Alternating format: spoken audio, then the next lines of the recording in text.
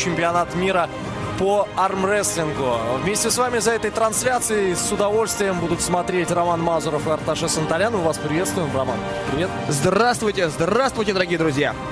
А, ну что, наверное, для начала расскажем вводную информацию, что чемпионат стартовал 1 сентября, когда многие школьники и студенты отправились за очередной порцией э, знаний. Вот таким вот образом решили выяснить сильнейшего.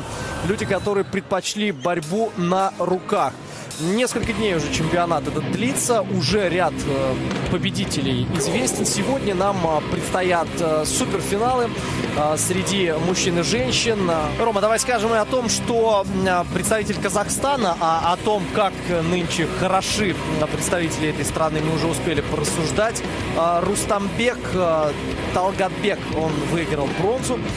И, соответственно, золото досталось в весовой категории у мужчин на левых руках до 55 килограмм килограммов. А, Бескаравайному Дмитрию Иваницкий Назарий добился а, серебряной награды. Да, очень-очень весомое достижение на самом деле, оказавшись в такой теплой компании, заработать серебро чемпионата мира, это, знаете ли, очень-очень круто. Ну а сейчас особая весовая категория до 65 килограммов. Мы э, с э, Ромой э, хорошо знакомы с девушкой, которая здесь боролась, но на левых руках не видим ее в финале. Стало быть, она, ну, она сама рассказывала, что предпочитает как раз-таки на правой. Стало быть, завтра Иру Гладкую мы точно увидим. Десятикратную чемпионку мира. Это сложно себе представить.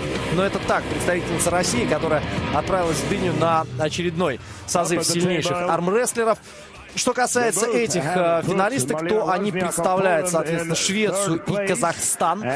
Ольга Лижневская, вот так, из Казахстана. Ну, украинская фамилия явно. Да, видимо.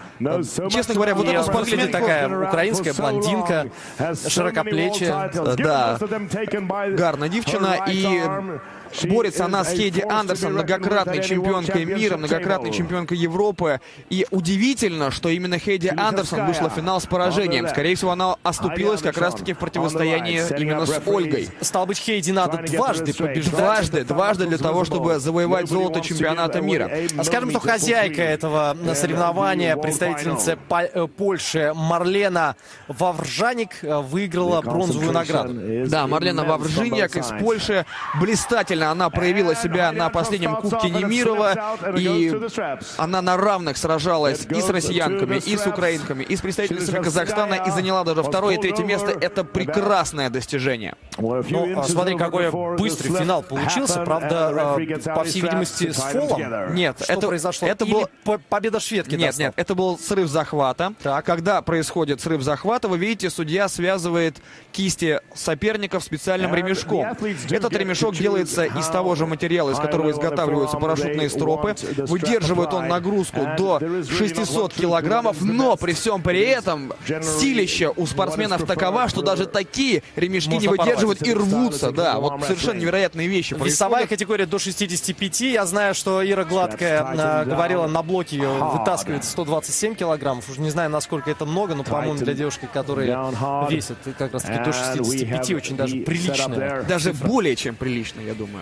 А, ну и это подтверждает ее многочисленные чемпионские титулы. Ну а сейчас давай посмотрим, как э, Ольга Шлижневская, ну такая украино-польская фамилия. Что-то есть. Я думаю, за нее здесь немало болеют. Еще одно условие, о котором я забыл упомянуть, для того, чтобы схватка могла начаться. Захват должен находиться четко по центру стола, и за этим должен следить рефери обязательно. Работа рефери здесь крайне важна, потому что его задача первостепеннейшая не дать кому-то из спортсменов преимущество на старте, потому что здесь, как ты видишь, все борьба решают доли секунды, здесь, да. Уже идет борьба за захват, и, кстати, если девушки сейчас не договорятся, то будет объявлен судейский захват. Это означает, что уже рефери самостоятельно закрывает кисти. И здесь нужно быть очень внимательным спортсменом, потому что любое... Вот, пожалуйста, объявляется судейский захват, вот такое. И обратите внимание, какое напряжение на руках. Девушки уже сейчас выложились, ну, не знаю, ресурсов 30 точно потратили. Ну, я, не, я не думаю, но во всяком случае эмоциональная борьба очень серьезная сейчас идет. Рефери, мы видим, сейчас будет закрывать кисти, я продолжу свою мысль. Им нужно быть очень осторожными, потому что как только судейский захват закрыт, любое движение плечом, головой, э, чем угодно будет приравниваться к фальстарту и, соответственно, фол. Я помню чемпионат Европы... Намотаны ремни, извини, Ром, я просто э, поражаюсь э, тому напряжению. Вот прям слышен хруст этого ремня. Я помню чемпионат Европы, который проходил в России, в Подмосковье, и там очень много финалов заканчивались по двум фолам, потому что объявляли судейские захваты, спортсмены очень нервничали, получали два фола за фальстарта и проигрывали даже не начав борьбу. Вот скручивает сейчас э, в конфигурацию необходимую руки спортсменок. Так. Фол получает Женевская. Я так... Девушки из Казахстана, да. Первая победа? Победа? Да, Хейди Андерсон получает победу. Я просто не очень понимаю, за что. Потому что вроде бы Шлижневская первый фол не получила. И если сейчас Шлижневская выписывают фол, то, по идее, должна быть переигра. Профессиональные поединки, они судятся иначе, нежели любительские. Что я имею в виду? В профессиональных поединках главное — это зрелищность, динамика динамика борьбы. И поэтому иногда на некоторые мелкие нарушения судьи закрывают глаза.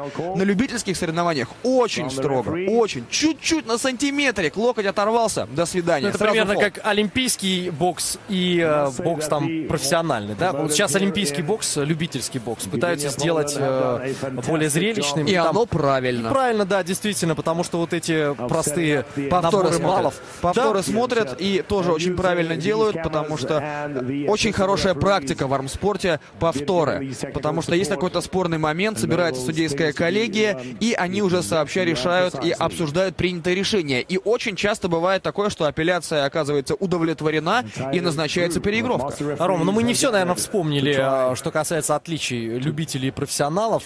Ну, на профессиональных турнирах, конечно же, дают деньги. Что главное, почему мы не видим, почему мы не видим ни канадцев, ни Девона Ларата, ни Майкла Тода, ни Тода Хатчингса, никого из из этих монстров, зубров армспорта мы не видим. Мы не видим здесь Дениса Цыпленкова, мы не видим Андрея Пушкаря. По разным причинам. Но почему? Потому что они все в основном готовятся на профи-турниры, потому что за них дают деньги.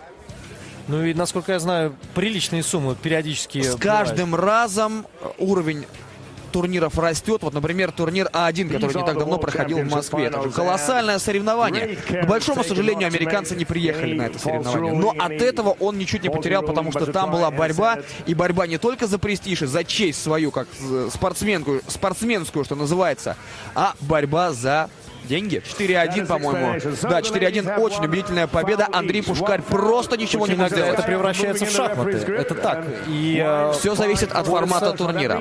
Давай, пока девушки выходят, я расскажу быстренько о том, какие бывают форматы турнира. Ну, давай мы сейчас э, все же э, насладимся вот этой женской борьбой. Э, я думаю, у нас времени еще много. Трансляция у нас растянута на 18 весовых категорий.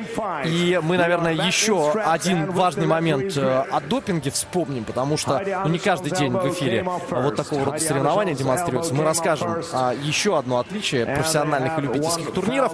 А прямо сейчас Ольга Слежневская попытается все же завоевать титул в борьбе против Хейди Андерс. И посмотри, видимо, сразу увидев повтор, увидев повтор, судьи приняли решение не засчитывать Анд... э, Шлижневской поражение потому что фол-то был один, а два фола приравниваются к поражению. Но это правильно, это правильно. но это такие правила тут, что, собственно говоря, из песни слов не выкинешь.